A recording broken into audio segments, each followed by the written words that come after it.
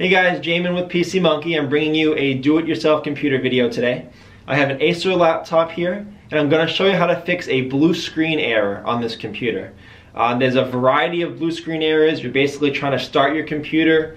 It seems to be booting up fine. You see the initial Acer logo screen, and then it goes to, again, a variety of, of blue screen errors, the, the blue screen of death.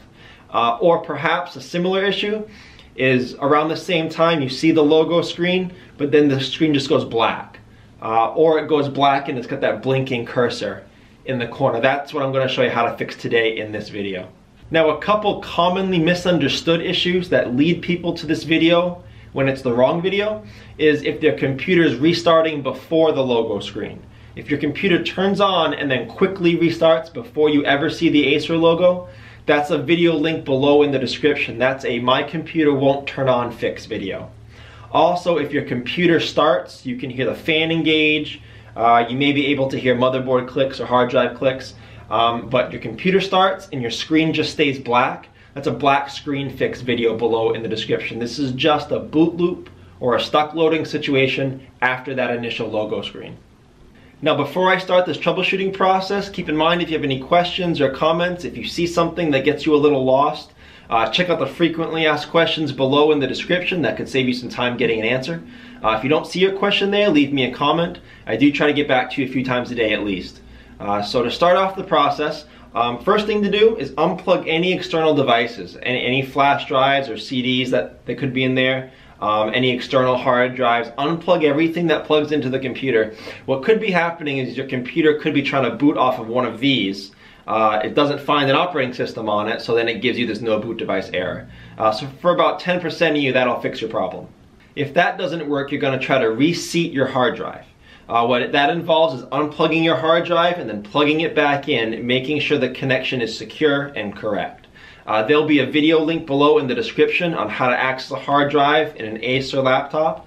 Uh, your laptop may be a little different depending on model. So if you want to search for a hard drive replacement video on your exact model, or leave me a message below and I can try to find one for you. Uh, but uh, again, that would be step two. You would unplug the hard drive, plug it back in. If those two things don't work, then we're gonna go into your BIOS on your Acer laptop. So I'm gonna shut the computer down, and then I'm gonna start it up and show you how to get into BIOS. So to get into BIOS on most Acer laptops, you're gonna hit F2 on startup. Sometimes it's escape. So here's your BIOS. Uh, yours may look a little different based on the year of your computer and the model, uh, but it still will have all the information we're looking for. You're gonna search first of all for your date and time settings.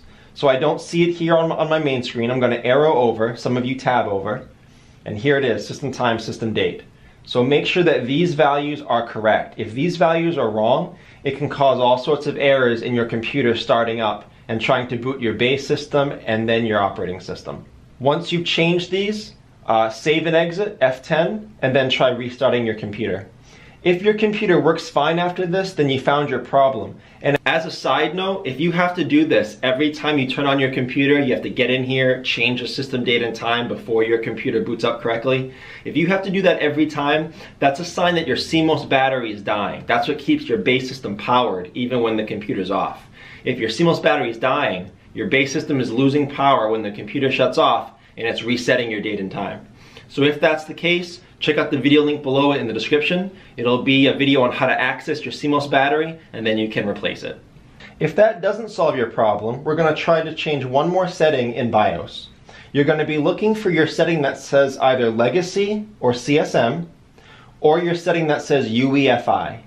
Now, you may have to look around a little bit like we did before, but it's usually going to be in your boot tab. So I'm going to arrow over to boot, and there it is, UEFI. And again, we're looking for UEFI, Legacy, or CSM.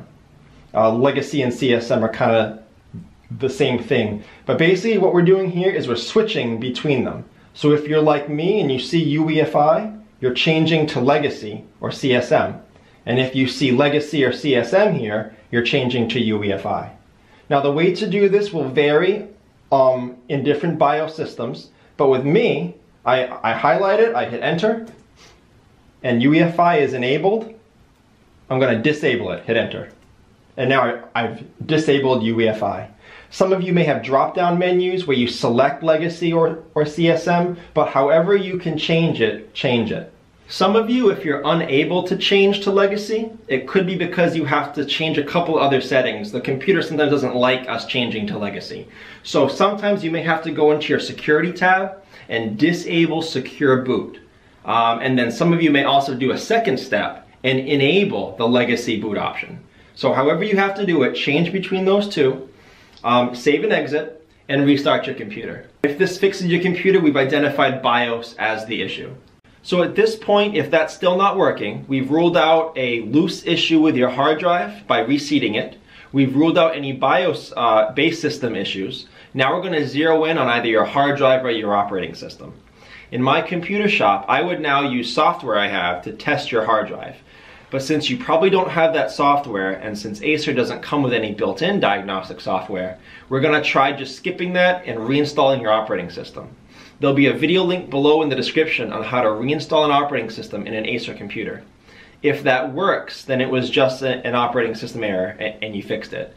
If your operating system won't install or keeps erroring out, then we've identified your hard drive as the issue. At that point, you would replace your hard drive and then install Windows onto the new one. And again, there'll be a video link below in the description for how to do that with your hard drive.